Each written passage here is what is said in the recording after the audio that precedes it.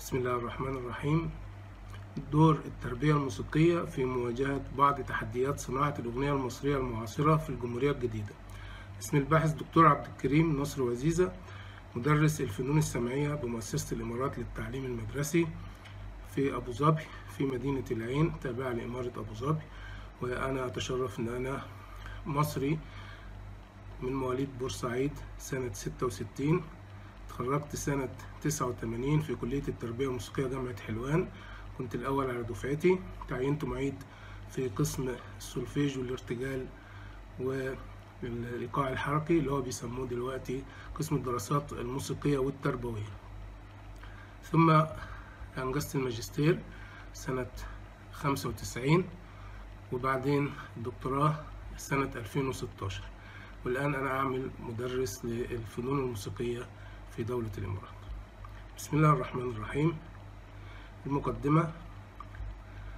منذ الأزل كانت الموسيقى نتاجا ثقافيا وفكريا عميقا يدل على حضارة الشعوب ومدى نهضتها وارتباطها بالمكان والزمان جغرافيا وتاريخيا.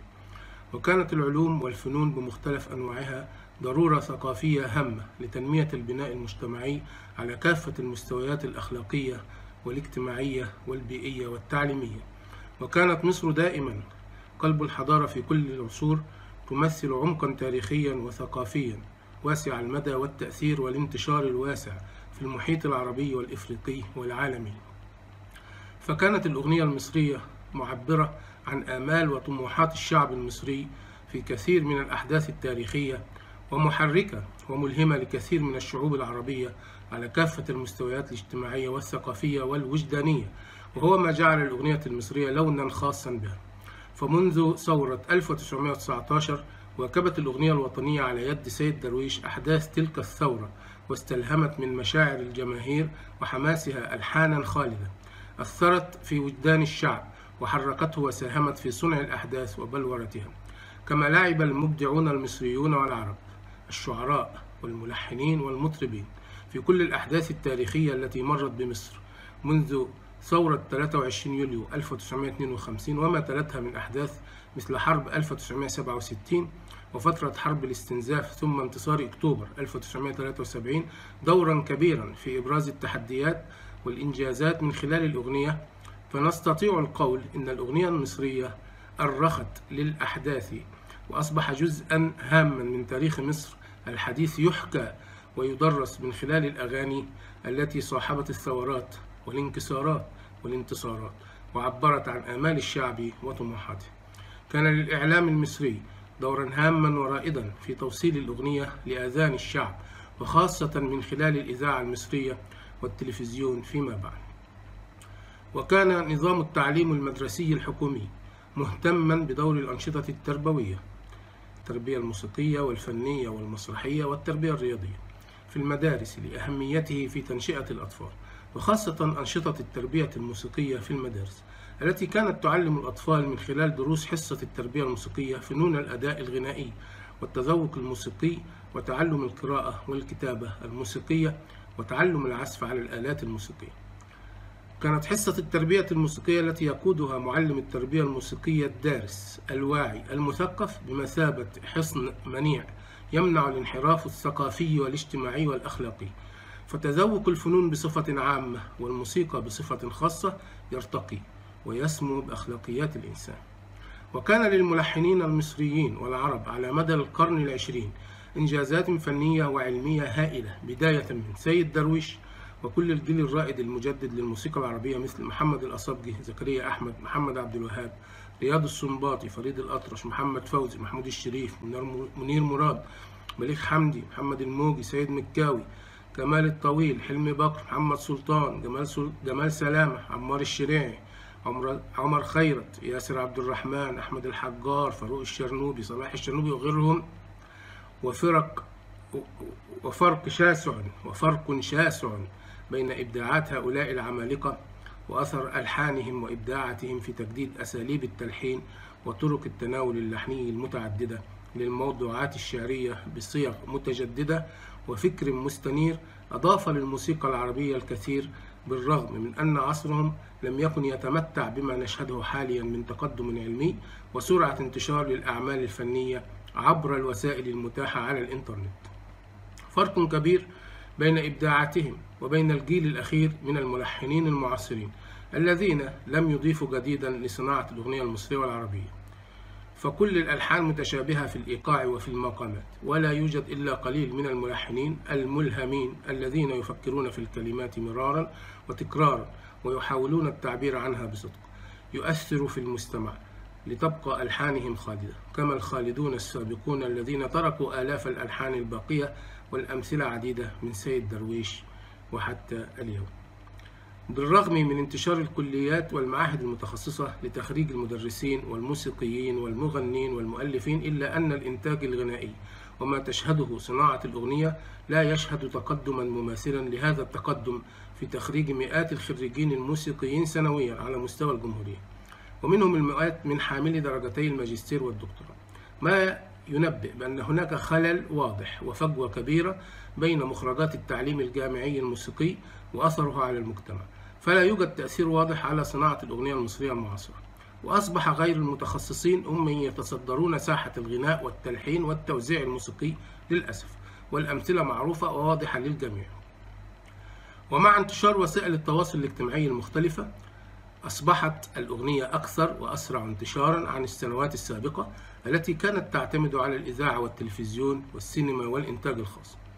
ولا يخفى على كل المهتمين بالأغنية المصرية ما وصلت إليه اليوم. حال بعض من ألوان الغناء المصري والذي يطلق عليه المهرجانات من حالة متردية من حيث اختيار الكلمات ومضمونها والموضوعات التي تتناولها ومن حيث اختيار الألحان والأصوات. ومن هنا يحاول هذا البحث مناقشة دور التربية الموسيقية في مواجهة تحديات صناعة الأغنية المصرية المعاصرة في الجمهورية الجديدة التي تتسم بالحفاظ على الهوية الوطنية والثقافية. والنسيج الاجتماعي المتين المبني على الوحدة الوطنية وعلى إبراز عناصر الجمال والإبداع الفني المتميز. من خلال الفنون الإبداعية بشكل عام ومنها الفنون الموسيقية وجانب هام منها مجال التربية الموسيقية التي من أهدافها العناية بتنشئة الأطفال تنشئة سوية شاملة متكاملة حيث إن الطفل هو اللبنة الأساسية في بناء الأمم. إن صلحت تربيته صلح المجتمع وإن فسدت تربيته فسد المجتمع. وتعتبر التربية الموسيقية وسيلة من أهم وسائل تربية الطفل وتنشئته التنشئة المتكاملة وذلك لسرعة وسهولة تأثيرها الوجداني على الطفل. كما تساعد التربية الموسيقية في إكساب الطفل مهارات التواصل الاجتماعي بالإضافة للمهارات الفنية المرتبطة بتعلم العزف على الآلات الموسيقية والغناء ومنها مهارات القرن الحادي والعشرين التواصل التعاون التفكير الناقد والإبداع.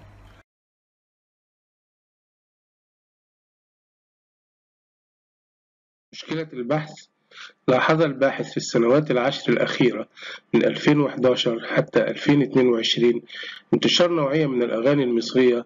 أطلق عليها أغاني المهرجانات وهي إحدى أنواع الأغاني المصرية المعاصرة. اتسمت كلماتها بفظاظة غير عادية واختيار كلمات في معظمها غير لائقة ولا تتناسب مع تقاليد وعادات المجتمع المصري والعربي. ولا يعبر ولا يتناسب مع حجم الإنجازات التي تشهدها مصر مع قرب الإعلان عن الجمهورية الجديدة. مما أثار دافعية الباحث للبحث في تلك المشكلة وأسبابها وإلقاء الضوء على دور التربية الموسيقية في مواجهة بعض تحديات صناعة الأغنية المصرية المعاصرة.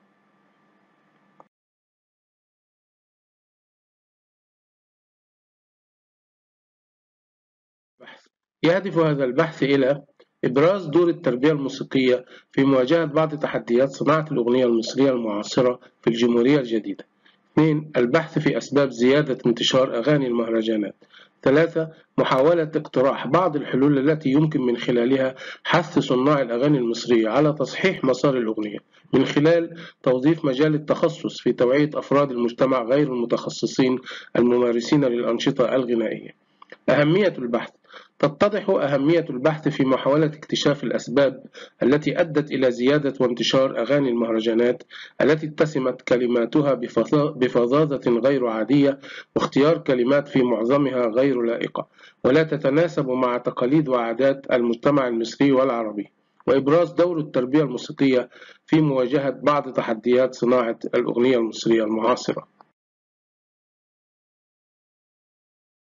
الأغنية المصرية المعاصرة في الجمهورية الجديدة ومحاولة إيجاد الحلول المناسبة لعودة الأغنية المصرية لوضعها الطبيعي الذي يتمثل في الأغنية الهادفة التي تتسم بكلمات وألحان وأصوات راقية تعبر عن موضوعات مهمة لحياة الناس وتسهم في إشاعة المحبة والسلام والبعد عن الكراهية والعنف والإساءة. أسئلة البحث واحد هل يمكن للتربية الموسيقية في المدرسة أن تلعب دورا هاما في مواجهة بعض تحديات صناعة الأغنية المصرية المعاصرة في الجمهورية الجديدة؟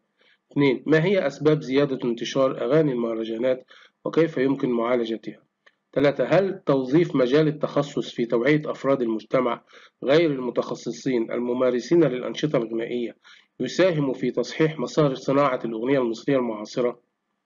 إجراءات البحث وتشمل منهج البحث يستخدم هذا البحث المنهج الوصفي.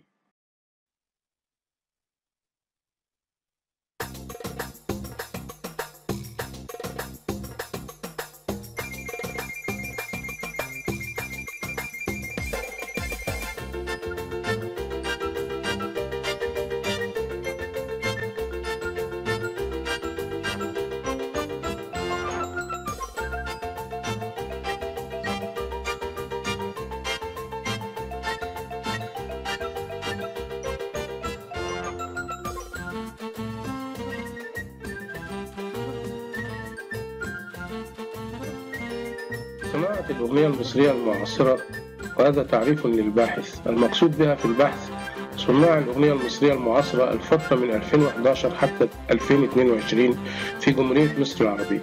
وتشمل بعض كتاب الأغاني والملحنين والموزعين الموسيقيين وأصحاب شركات الإنتاج الموسيقي الإلكتروني المنتشر على الإنترنت بواسطة مواقع التواصل الاجتماعي.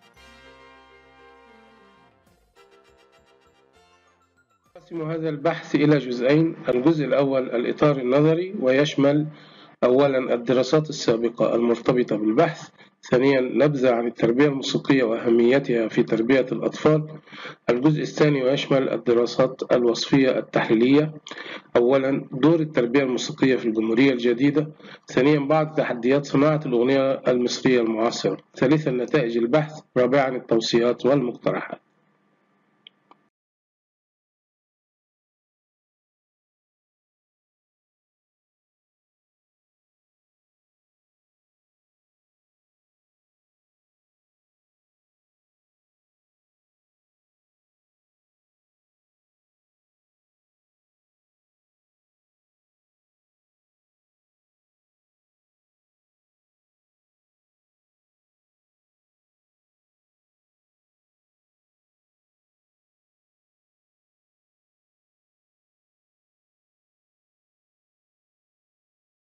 عن التربية الموسيقية وأهميتها في تربية الأطفال. للتربية الموسيقية دور هام في تربية الطفل الذي سيصبح شابا يتحمل مسؤولية نفسه ويؤثر في بناء المجتمع مع أقرانه من الشباب والفتيات. إذا تم تنشئتهم التنشئة الصحيحة التي تتسم بالتكامل والتوازن مما يساعد في تنمية ثقتهم بأنفسهم وإكسابهم مهارات القرن الحادي والعشرين تواصل التعاون التفكير الناقد والإبداع وكذلك تتسابق كل دول العالم لمواكبة التطور الهائل لوسائل الاتصالات وما نعاصره من وسائل التواصل الاجتماعي التي أصبحت ضرورة لا غنى عنها. ولكنها تحمل الوجهين الغث والثمين ولا يستطيع فرزهما والاستفادة بالثمين سوى الأطفال الذين نشأوا نشأة تربوية سليمة تراعي النمو الجسمي مع النمو النفسي والعقلي والوجداني. وهذا لا يكون إلا بالتربية الموسيقية. فالتربية الموسيقية هي الداعم القوي لتنشئة الأجيال لما تملكه من أدوات طبيعية يمكن استغلالها في تربية الأطفال بشكل خاص. مثل حبهم لسماع الموسيقى والغناء وأداء حركات تعبيرية بأجسادهم تعبر عن مضمون الموسيقى والغناء الذي يحبونه. ويقوم الغناء الجماعي بدور هام في تكامل نمو الطفل المصري حيث يساعد في القضاء على بعض متاعب تدريس مادة التربية الموسيقية بالمدارس بعدم توفر صفوف وغرف دراسية مجهزة للمادة. لأننا سنملك لكل طفل آلة موسيقية من أجمل الآلات بل وأقدرها على إسعاد الإنسان وهي الآلة البشرية التي وهبها الله سبحانه وتعالى له. ويعتبر صوت الأطفال من أجمل الأصوات على الإطلاق وسمي في المدرسة الإيطالية الصوت الأبيض وهو صوت عذب نقي يكاد يوصف بالشفافية. ولذلك نجد أن البلاد المتقدمة في التعليم اهتمت أشد الاهتمام بتربية الطفل من خلال الاهتمام بمناهج التربية وعلم النفس ومنها مناهج التربية الموسيقية التي تعمل على رعاية الطفل تربويا وموسيقيا منذ صغره ولذلك سميت بمادة التربية الموسيقية لأن الهدف الأساسي منها هو المساهمة في تربية الطفل. تربية متوازنة متكاملة من خلال استغلال الميل الطبيعي والفطري لدى الطفل للموسيقى في تهذيب سلوكه وانفعالاته وتربيته وتعليمه وصقل مواهبه حتى ينضج فيكون عنصرا فاعلا في مجتمعه. لا خوف منه من أن يتجه أي اتجاهات غير طبيعية قد تؤثر في مسيرته كفرد في المجتمع وبالتالي تنعكس وآثارها على المجتمع. ومن هنا تنشأ أهمية التمسك بالتربية الموسيقية كمسمى للمادة وليس كما بدأت بعض البلاد العربية في العشر سنوات الأخيرة. فيها مادة الفنون الموسيقية وليس التربية الموسيقية. ويرى الباحث أن الإبقاء على مسمى التربية الموسيقية أفضل وأنسب للمادة الدراسية الموسيقية التي تدرس أساسياتها ويتعلم من خلالها التلميذ التعاون والتواصل والتفكير الناقد والإبداع مهارات القرن الحادي والعشرين من خلال تربيته سلوكيا وعلميا وفنيا وليس مجرد دراسة مواد موسيقية فنية لا ترتبط بأي نوع من التربية حتى أن المصطلح المعمول به في كل دول العالم المتقدمة التي تقوم بتدريس التربية الموسيقية كمادة دراسية أساسية هو مصطلح Music Education وليس Musical Arts. وهذا يدل على أهمية المحافظة على مسمى التربية الموسيقية والتمسك به.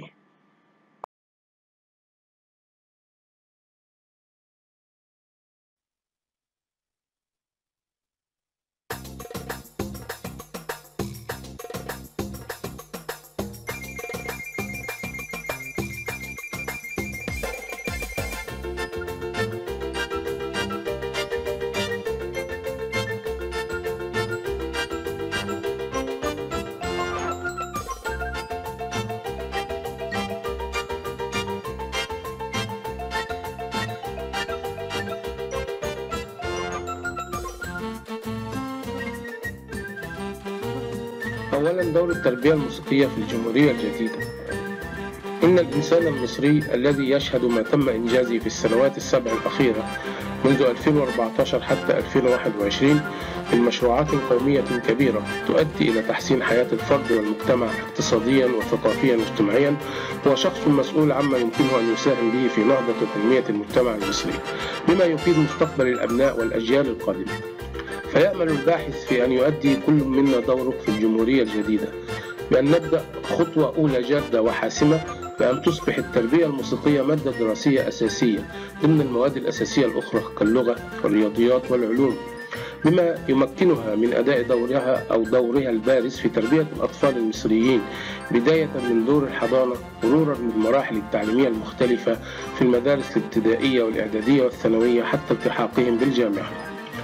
وذلك يحتاج إلى تضافر كل الجهود وأهمها وسائل الإعلام والتواصل الاجتماعي فيجب تغيير الصورة النمطية الفظة لكثير من الأغاني المعاصرة التي تبث عبر القنوات الفضائية ووسائل التواصل الاجتماعي التي تعتمد على العري أكثر من التطريب والغناء الهادف الجيد. مما انعكس على التفكير الجمعي لبعض فئات المجتمع بأن كل الموسيقى وكل الغناء ما هو إلا هذه الصورة السيئة التي يرونها في بعض وسائل الإعلام وخاصة المرئية ووسائل التواصل الاجتماعي التي فتحت الباب على مصراعيه لأي فرد أن يبث عبرها ما يريد دون رقابة فنية وأدبية وأخلاقية.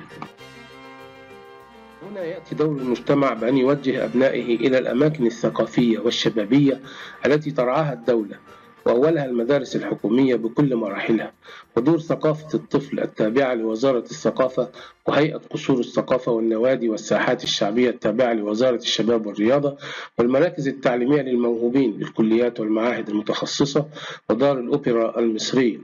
في الجمهورية الجديدة أتصور أن يتم تنسيق تام بين الوزارات والهيئات المختلفة لرعاية وزيادة الاهتمام بالطفل المصري كأولوية عظمى بأن يصبح هناك مؤتمرا للأطفال لمناقشة أفكارهم وتطلعاتهم ولتوجيههم التوجيه الصحيح كما جرى مع الشباب بأن أصبح لهم مؤتمرا عالميا يعقد في مصر كل عام برعاية فخامة الرئيس عبد الفتاح السيسي الذي استلهم من الحكمة القائلة رحلة الألف ميل تبدأ بخطوة وقد بدأت مصر الكثير من الخطوات الأولى في شتى المجالات المرتبطة بحياة الشعب والتي ستؤتي ثمارها وتنعكس إيجابيا على مستوى حياة الفرد والمجتمع.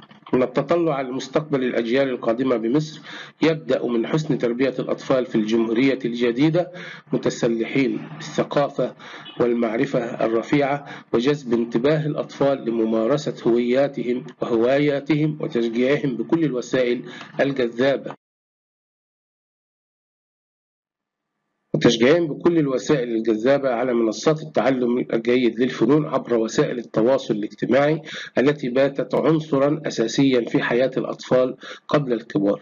فيجب علينا أن نمنح الأطفال في الجمهورية الجديدة فرصة التعلم الجيد من خلال مواد الأنشطة التربوية وخاصة التربية الموسيقية وأن يمكن المتخصصين والموهوبين من خريجي الكليات والمعاهد التربوية الموسيقية وذوي الخبرات التربوية الموسيقية من العمل في المدارس بمراحلها التعليمية المختلفة ليقوموا بواجبهم الوطني والقومي والتعليمي والثقافي والمعرفي في تربية وتعليم أطفال مصر الذين هم أجيال المستقبل وقادة الغد.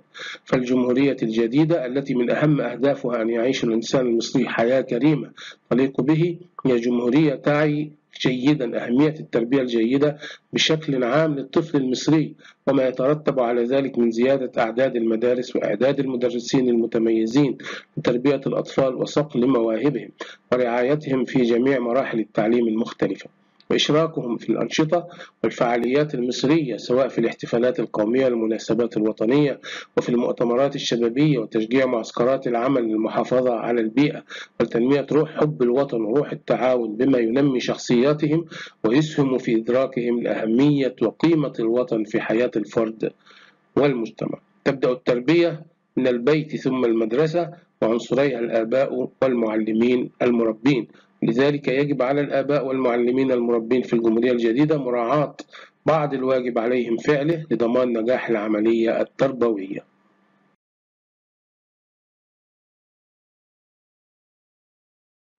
لضمان نجاح العملية التربوية التعليمية من خلال تدريس فروع مادة التربية الموسيقية المختلفة ومنها من خلال الفرقة الموسيقية بالمدرسة بالمدرسة يتم اختيار قائد الفريق المايسترو الذي يتمتع بحب زملائه ويستطيع قيادتهم كفريق لعزف أجمل المقطوعات ويكون موهوبا في أحد الأنشطة الموسيقية سواء بالعزف أو الغناء أو الأداء الإيقاعي الحركي أو التأليف الموسيقي وهو ما يساعد في نمو الأطفال اجتماعيا وزيادة شعورهم بالمسؤولية منذ الصغر.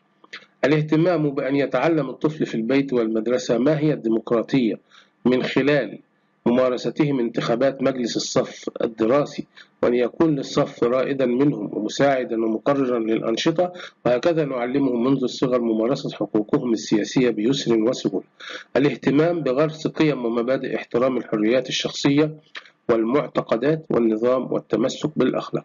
الاهتمام بالألعاب الجماعية التي يتعلم الأطفال من خلالها التعاون والثقة بالنفس والبعد عن الانطواء تقليل الاعتماد على الكبار الوالدين والإخوة المعلمين والاعتماد على أنفسهم مما يسهم في زيادة في زيادة الانضباط والتحلي بضبط السلوك الذاتي المرغوب. ثانيا بعض التحديات تواجه صناعة الأغنية المصرية المعاصرة.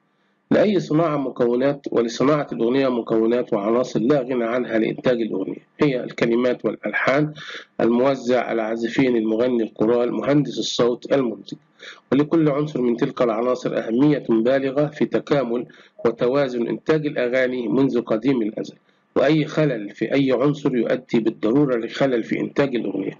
فعلى سبيل المثال إذا حدث خلل في الكلمات وأصبحت الكلمات لا تراعي القيم الأخلاقية والعادات والتقاليد المجتمعية المستقرة وقد أدى ذلك بالفعل لإنتاج أغاني اشتملت كلماتها على ألفاظ وتوصيف تشمئز من سماعها الآذان بل ويعاقب عليها القانون ولكنها انتشرت بسبب سهولة وجود وسائل التواصل الاجتماعي.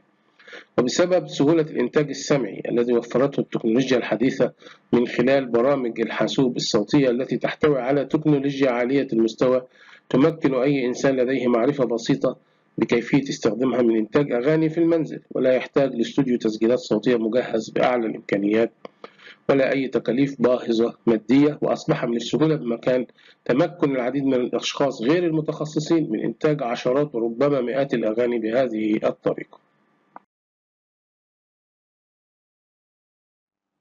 وقد ساهم ذلك في انتشار العديد من المؤدين لهذا اللون الغنائي الذي أطلق عليه المهرجانات وتسبب في تردي الأخلاقيات والسلوكيات وتراجع القيم لدى بعض فئات المجتمع وخاصة الفئات وبعض الشركات العربية للأغاني على تلك الصناعة من خلال تاريخها الممتد غالبية منذ بداية المصريين والعرب وفرض نوعية معينة من الغناء على الأذان الجماهير المصرية والعربية من خلال ارتباطهم بعقود طويلة دراسة ما يسمى احتكار علمية وجود بعض الملحنين الذين لا يملكون الموهبة الخلفية والذين لم يبرزوا غالبيتهم في الكليات والمعاهد المتخصصة ولم يحصلوا على شهادات الماجستير والدكتوراه بل كان الموهوبين بل يبحثون عن الشهرة وتمكن غالبيتهم من الدراسة يد من سبقوهم والذين على الذوق استخدمت أعمالهم وإنجازاتهم اللحنية الكبيرة القيمة في دفع الحركة العلمية الموسيقية. انتشار وسائل التواصل الاجتماعي وعدم إخضاعها علمية بحثية أجهزة في وقتنا على المصنفات الفنية أدى إلى فوضى عارمة في مجال صناعة عشرات بل مئات الأبحاث التي. أجريت على أعمال العظماء من ملحنين مصر والعالم العربي في بعث النهضة الموسيقية العربية من جديد وأن تأتي ثمارها بأن تسمو بالأخلاق والذوق الفني وأن تنبه الناس بما يجب أن يستمعوا له وأن وعدم يتعلموا كيف يختاروا ما يجب الاستماع النوعية وما يجب عدم الاقتراب بالعمل بالرديء في المدارس الحكومية. فكيف يكون لدينا كل هذا نقص حاد التراث في أعداد المعلمين لعمالقة والمعلمات الموسيقى المؤهلين علميا وفنيا كما أدى إلى عدم تدريس المادة لقطاعات كبيرة من الطلاب في جميع مراحل التعليم الجامعي مما أفقد بها كاملة الحس والشعور الكلمة. الفنون الجميلة تأثيرها على الملايين الفنون الموسيقية من من خلال. الكلمات والألحان بصفة فقد ساهم ذلك في انتشار لم يتعلموا التذوق العديد الموسيقي من المؤدين. لهذا اللون ولم يكتسبوا مهارات حياتية المهرجان. تمكنهم من وتسبب التفرقة في تردي مما والسلوكيات وتراجع عليهم في كل وقت لدى من بعض فئات المجتمع وخاصة الفئات المراهقين. فقد شهدت الأغنية المصرية على مدار تاريخها الممتد عدم منذ قيام تطورها والمعاهد المتخصصة في الموسيقى عصرنا من الحالي استكمال التطورات دورها المجتمعي ساهمت في تحاول جذب هؤلاء الذين استطاعوا المرور بأغانيهم دراسة بحثية لملايين علمية المشاهدات وملايين أن المستمعين وتجذبهم للتعلم والذين لم وصقل موهبة الكليات والمعاهد المتخصصة ولم يحصلوا على شهادات على إفادة المجتمع بشكل جيد. بل واستغلال شهرتهم ليلعبوا دورا إيجابيا في تحسين أخلاقيات الشباب والفئات المجتمعية المعجبة أعمالهم وإنجازاتهم اللحنية الكبيرة القيمة في دفع الحركة العلمية الموسيقية. دور التربية وعمل الموسيقية من خلال البحث موسيقية علمية بحثية في وقتنا الحالي في على الجمهورية الجديدة في أن تستخدم نتائج عشرات بل مئات الأبحاث التي أجريت على أعمال والعالم أحمد إلى العربي في بعث النهضة الموسيقية العربية العلمي من جديد والأكاديمي وأن تأتي ثمارها في بأن تسمو المجتمع بالأخلاق وذلك والذوق في الفني.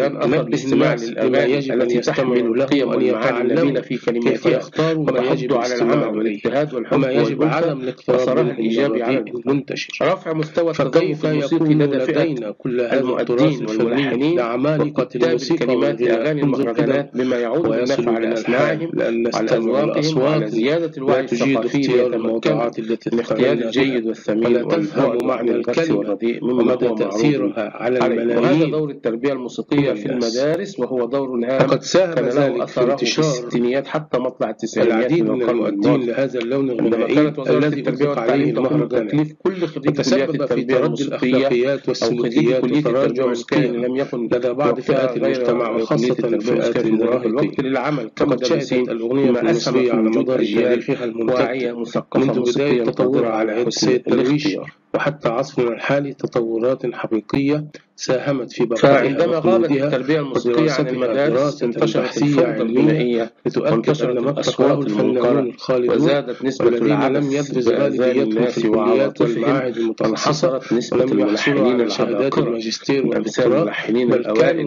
وزادت نسبة الأقل موهبة فانعكس ذلك على الدراسة شرائح مختلفة من المجتمع والذين كان له أثر السيء على وجود سلوكيات غير مرغوبة انتشرت القيمة في العديد دفع من القطاعات العلمية وشرائح المجتمع المختلف وعمل نهضة تربوية نتمنى علمية أن بحثية في وقتنا الحالي. معلمي التربية الموسيقية الجمهورية في مكانهم الطبيعي أن في المدارس نتائج عشرات الأطفال والشباب والفتيات في جميع على المراحل أعمال العظماء من التعليمية ملحنين مصر التذوق والعالم العربي في بعث النهضة الموسيقية العربية الموسيقى وأن تأتي ثمارها إنشاء جيل جديد. والذوق الفني على القيم والأخلاق الرفيعة لما يجب أن يستمعوا له الراقية يتعلموا كيف يختاروا ما يجب الاستماع إليه وما يجب عدم الاقتراب منه من الرديء المنتشر. فكيف يكون لدينا كل هذا التراث الفني لعمالقة الموسيقى والغناء منذ نتائج البحث. ويصل بنا عبر لأن نستمع لأصوات لا تجيد اختيار الموضوعات التي تتغنى بها. ولا تفهم معنى الكلمة ومدى تأثيرها على الملايين من الناس. وقد ساهم ذلك في انتشار العديد من المؤدين لهذا اللون الغنائي الذي أطلق عليه المهرجانات. وتسبب في تردي الأخلاقيات والسلوكيات وتراجع القيم لدى بعض فئات المجتمع وخاصة فئات المراهقين. فقد شهدت الأغنية المصرية على مدار تاريخها الممتد منذ بداية تطورها على يد السيد درويش وحتى عصرنا الحالي تطورات حقيقية ساهمت في بقائها وخلودها ودراستها دراسة بحثية علمية لتؤكد أن ما ابتكره الفنانون الخالدون والذين لم يبرز غالبيتهم في الكليات والمعاهد المتخصصة ولم يحصلوا على شهادات الماجستير والدكتوراه بل كانوا موهوبين بالفطرة.